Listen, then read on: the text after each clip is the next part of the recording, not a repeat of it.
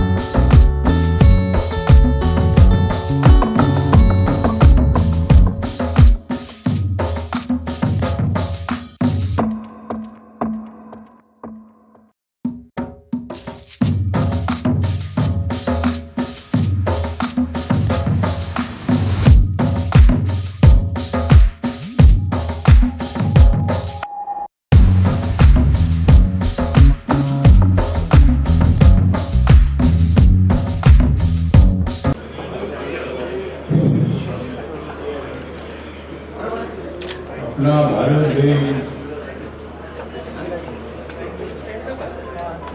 ज़रूर मज़बूत होगा भारत नेशन ज़रूर मज़बूत होगा भारत नेशन क्योंकि अच्छा काम कर रहा है जन आरोग्य फाउंडेशन जन आरोग्य फाउंडेशन और एकता मंच। से मीडिया में काम करने वाले जो अलग अलग पत्रकार है इलेक्ट्रॉनिक मीडिया है प्रिंट मीडिया है फोटोग्राफर है, ऐसे अलग अलग न्यूज़ पेपर में काम करने वाले चैनल में काम करने वाले जो पत्रकार ये मीडिया जो है मीडिया अपने देश में, भारत अपने देश के संविधान में तीसरा स्तंभ है? और मीडिया में काम करने वाले तमाम हमारे जो पत्रकार हैं, उनको बहुत बार रिस्क लेकर फ़ोटो निकालना पड़ता है। बहुत बड़ी रिस्क लेकर न्यूज़ देना पड़ता है। बहुत बड़ी रिस्क लेकर अपने वीडियो द्वारा, चैनल द्वारा जो फोटोग्राफी होती है। चैनल के माध्यम जो वीडियो होता है। दिखाने का एक बहुत बड़ा इम्पोर्टेंट काम। आप लोग जो भी घटना घट जाती है, उसका एक पाँच मिनट में, दस मिनट के अंदर। पूरे भारतवर्ष में, दुनिया भर में वो न्यूज़ जाती है। और आजकल सोशल मीडिया भी बहुत बड़ा एक्टिव बन गया? है तो आज यहाँ बहुत सारे पत्रकारों का सम्मान होने वाला है। और यहाँ हमारे देवेंद्र भैया जी, जो भारत गौरव के नाम से जाने जाते हैं जैन धर्म के धर्म गुरु हैं और बहुत एक्टिव है उनके साथ मेरे बहुत ही नजदीकी संबंध है। वो भी मतलब आज के समारोह में उपस्थित है। हमारे सुबोध सावजी जी जो बुल्ढाना ज़िले में मेकर है? वहाँ से कई बार वो एमएलए रहे हैं। और महाराष्ट्र सरकार में वो मंत्री भी रहे हैं। वो भी आज यहाँ मौजूद है। हमारे बहुत ही बड़े बिल्डर और जिनके साथ हमारे अच्छे संबंध है, ऐसे नलीम शाह जी हमारे जमुनालाल जी, जो ग्लोबल महासभा के अध्यक्ष हैं, एकता मंच के अध्यक्ष अपने अजय कौल जी है, प्रशांत आशीष जी, श्रीमती विधि प्रवीण जैन,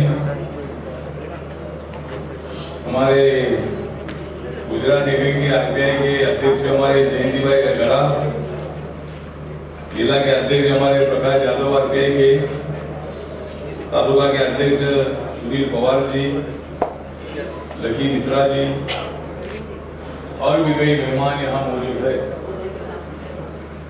तो हम सब लोग जो है, सब लोग यहाँ अपने देश पर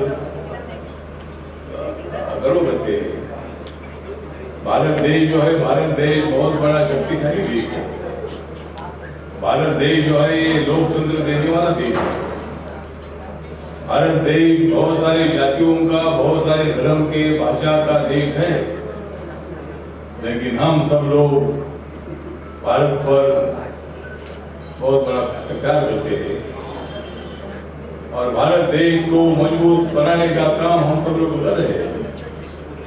डॉक्टर बाबा साहब अंबेडकर जी ने जो संविधान दिया है, उस संविधान का भारत खड़ा करने के लिए हम सब लोग आगे बढ़ रहे हैं। माननीय नरेंद्र मोदी जी, जो देश के प्रधानमंत्री है, जिन्होंने मतलब किसानों के जो तीन कानून थे, किसानों की आमदनी बढ़ाने वाले थे, किसानों का मतलब समस्या हल करने वाले थे, लेकिन बहुत एक साल भर तक किसानों का आंदोलन चलता रहा। सरकार का कहना यह था कि अगर एक कानून पीछे लेंगे तो हर कानून के लिए आंदोलन शुरू होगा। और पार्लियामेंट को कानून बनाने का जो अधिकार है, उस अधिकार में कोई तथ्य नहीं रहेगा। सरकार को कानून के लिए जो बिल आना है, वो बिल आने का कोई मकसद नहीं रहेगा। इसलिए कानून में क्या अमेंडमेंट चाहिए बताइए, ये साल भर चर्चा चलती रही लेकिन किसानों का आग्रह था कि भाई कानून के पीछे लेना चाहिए। माननीय नरेंद्र मोदी जी ने तीन चार दिन पहले उन्नीस तारीख को कानून पीछे लेने की आमदनी की और मोदी कैबिनेट ने उसको मंजूरी देने का भी काम किया है। सम्मान किया गया। आप क्या कहना चाहेंगे फाउंडेशन ने कार्यक्रम ऑर्गेनाइज किया फाउंडेशन और देखिए आज जो कार्यक्रम रखा गया है मीडिया प्रशंसा मीडिया प्रशंसा समारोह ये इसलिए रखा गया है कि मेरी एक, जब लोगों ने पूछा कि कई लोगों ने मुझसे प्रश्न किया, क्योंकि तो मेरा नाम मैं पत्रकार हूँ, न मीडिया मेरे से कोई लेना देना है, कुछ नहीं है। फिर लोगों ने कहा कि आपने क्यों रखा है कार्यक्रम? तो मैंने उनको ये कहा है। मैंने जवाब दिया ये कि मीडिया प्रशंसा समारोह है। जब हम उन लोगों का अभी देखा होगा कि पूरे भारत में एक अवार्ड पुरस्कार की बाढ़ सी आ चुकी है। देखा ना आपने सब तो मैंने कहा, हम पुरस्कार नहीं देंगे, हम क्या करेंगे? हमारे जो पत्रकार भाई बहन हैं, जिन्होंने कोरोना के काल में मैंने खुद देखा है कि हम सब लोग उस काल में घर से बाहर नहीं निकले। हमारे मीडिया के पत्रकार भाइयों ने अपनी जान, परिवार को एक साइड रखा, अपनी जान को जोखिम में डालकर वो ऐसी न्यूज़ें ला के आए, हमें पता नहीं क्या हो रहा है। वो घर घर उन्हें न्यूज़ें पहुँचाई। अब वो छोटी मीडिया हो, बड़ी मीडिया हो, इससे नहीं फ़र्क पड़ता है। फ़र्क इसका है कि उनने पूरी जी जान से मेहनत की। है मेरा यही है कि प्राचीन काल से अगर देखा जाए तो प्राचीन काल से विधा चली आ रही है, परंपरा चली आ रही है, लेकिन उसका स्वरूप बदल गया। पहले स्वरूप दूसरा था, आज स्वरूप दूसरा बदल गया है। तो मेरे मन में विचार आया कि ऐसे हमारे भाई बहनों को, जिन्होंने इतना बढ़ चढ़कर योगदान दिया है, अपनी मीडिया जगत में जिनको हम चौथा स्तंभ कहा जाता है, अगर हम तंबू लगाते हैं ना, तंबू लगाते हैं, अगर उसका एक बम्बू खिसक जाए ना तो समाज स्थिर हो जाता है। और मेरा ऐसा मानना है कि जिसमें, जिस देश में अगर पत्रकारिता नहीं है तो उस देश की, स्वस्थ देश की सफल देश की और सफल समाज की कल्पना नहीं की जा सकती। तो आज मैं यही कहना चाहूँगा कि ऐसे कार्यक्रम जो आज मैंने किया है और एकता मंच हमारे अजय सर ने किया है साथ में मिलकर, ऐसे कार्यक्रम सभी को मीडिया प्रोत्साहन के लिए समय समय पर आयोजित करना चाहिए, जिससे कि उनका हौसला अफजाई हो और मेरा मीडिया कर्मियों से विशेष अनुरोध रहता है कि छोटी सी ज़िंदगी होती है हर किसी की। सभी लोग अपने सफलता को जीना चाहते हैं। लेकिन उसके साथ साथ मैं ये भी कहना चाहता हूँ कि उसके साथ में एक ईमानदारी के साथ अपना कार्य करें और औरों को प्रेरित करें, क्योंकि आप सिर्फ़ आप सिर्फ़ दो न्यूज़ नहीं कवर कर रहे हैं, आप सिर्फ़ पूरे देश को सच्चाई दिखाने का काम कर रहे हैं। तो मेरा वही मानना है कि आप सब भी मीडिया कर्मियों से ये निवेदन रहता है मेरा कि अच्छी न्यूज़ दें टीआरपी की रेस में कभी ऐसा ना बन जाए कि अच्छी न्यूज़ छूट जाए और टीआरपी की रेस में हम बिल्कुल ऐसी न्यूज़ें आती हैं, ऐसी न्यूज़ देखने में शर्म सी लगती है कभी कभी तो हम अच्छा ही न्यूज़ उतना प्रोत्साहन जितना हम अच्छी न्यूज़ को देते हैं उतना ही हम अच्छी न्यूज़ को दें। मेरा कहने का मतलब ये है। मैं तो एक, एक कार्य की योजना बनाता हूँ लेकिन मैं आपको बता दूँ कि मैं उस कार्यक्रम को समूहित रूप देने के लिए जैसे अजय सर जैसे महान भाव जिन्होंने बढ़ चढ़कर हर कार्यक्रम में हिस्सा देते हैं ऐसी हमारी मीडिया बहन गजरा जो गजरा ग्रुप है जो बिल्डा लाना बहुत नवी मुंबई में आप जानते हो कि नवी मुंबई में बहुत बड़ा है। हमारे नलिन भाई साहब जो ये भी बहुत नवी मुंबई में जाना पहचाना चेहरा है बहुत अच्छा कार्य करते हैं। और हमारे राकेश भाई जो जन आरोग्य फाउंडेशन से पूरा सर्वोसर्वा है जन आरोग्य फाउंडेशन के राकेश भाई जो बढ़ चढ़ कर हिस्सा लेते हैं। और भी हमारे प्रशांत भाई सब लोग हैं जिन्होंने प्रशांत भाई ये प्रशांत भाई और हमारे पुष्कर जी आपको बता दूँ मैं। पुष्कर जी की इसमें इतनी बड़ी भूमिका रही है। पुष्कर जी हमेशा मेरे करीब करीब तीन चार साल से जुड़े हैं मुझसे। और हमेशा मुझसे कहते रहे कि, सर, कुछ ना कुछ करना है। मिलकर, अभी कोरोना काल में जब चल रहा था तो बोले, सर, कुछ हमारे पत्रकार भाई बहनों के लिए कुछ करेंगे? हमने कहा, भैया, मैं कौन होता हूँ करने वाला। आ जाओ, देख लेते हैं कुछ। तो उस समय भी इनने कुछ सबको लेके आए। जो कुछ हुआ ये जानते होंगे। और आज भी पूरा कार्यक्रम आप देखो, मैं नहीं था इस कार्यक्रम में ना कोई सहभागिता नहीं है मेरी। पूरा मैनेज अजय सर से मिलाने वाले ये पुष्कल जी हैं। अजय सर, मैं कभी कभी ऐसा होता है ना कि इतनी बड़ी शख्सियत से पता मिल जाते ना कि पता नहीं चलता। उसमें से अजय सर से जब मिलवाया तो हमारे, मेरे जीवन का सबसे बड़ा खुशी है मेरे जीवन में ही और पुष्कर जी ने हमेशा एक, मैं एक पूरा कार्यक्रम जिस तरह से सबको जोड़ा मैं तो परिचित नहीं था कुछ लोगों से, लेकिन सबको लेके आया पुष्कर जी ने पूरी व्यवस्था की। मैं विशेषकर पुष्कर जी का भी धन्यवाद आभार करना चाहता हूँ और जितने मीडिया कर्मी भाई बहन हैं, उनका भी मैं हृदय से बहुत बहुत धन्यवाद देना चाहता हूँ।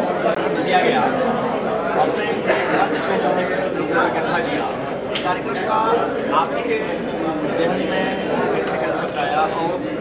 एम क्या है उद्देश्य?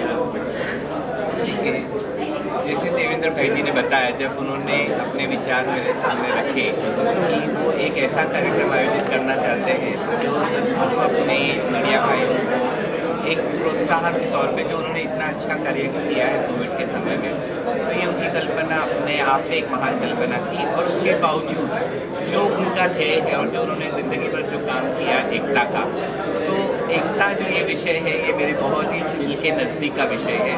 क्योंकि पिछले 1993 राइट्स के बाद एकता मंच के ज़रिए हमें, हम लोग समाज में एकता का अमन और शांति का काम कर रहे हैं।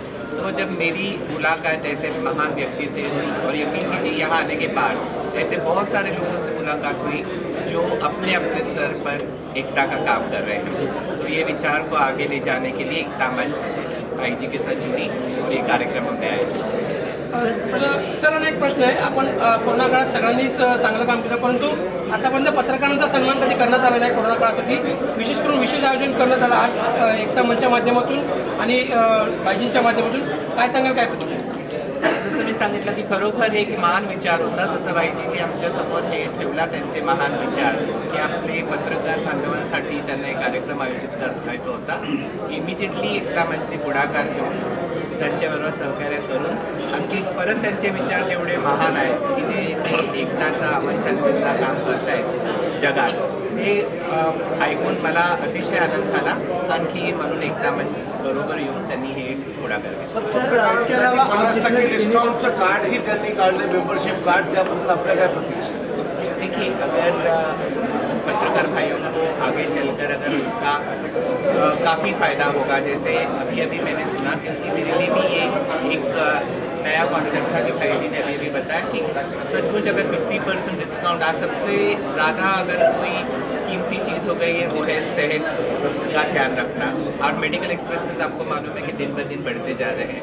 तो इससे अच्छी सहायता और क्या हो सकती है कि आपको lifetime fifty percent discount कोई भी चेकअप्स पे मिलेगा सर इसके अलावा मीडिया हमेशा आपके सपोर्ट में रहता है। सर, आज मीडिया के लिए आप क्या कहना चाहेंगे? उस सपोर्ट के लिए क्या कहना चाहेंगे? देखिए, मुझे जैसे भाई जी की बात बहुत अच्छी लगी।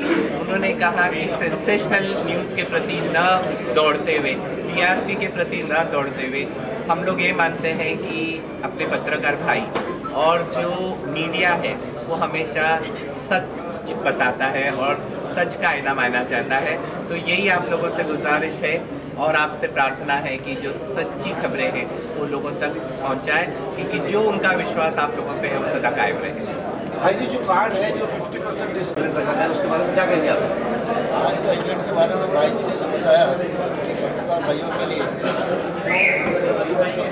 विपरीत परिस्थिति में कुछ हो जाता है। उनके लिए सहायता करने का जो फिफ्टी परसेंट डिस्काउंट का जो उन्होंने कार्ड इशू किया है बहुत सराहनीय है मैं भाई जी से बहुत साल से जुड़ा हूँ। और ये हमेशा समाज सेवा काम करते हैं। और ये कह रहे हैं महीने डेढ़ में बड़ी योजना लाएँगे। तो मुझे बहुत खुशी है कि समाज सेवा में आप भाइयों का पत्रकारों का जो सहयोग रहा है वो हमेशा बना रहे। और भाई जी आपके लिए कुछ करते रहे कि नहीं।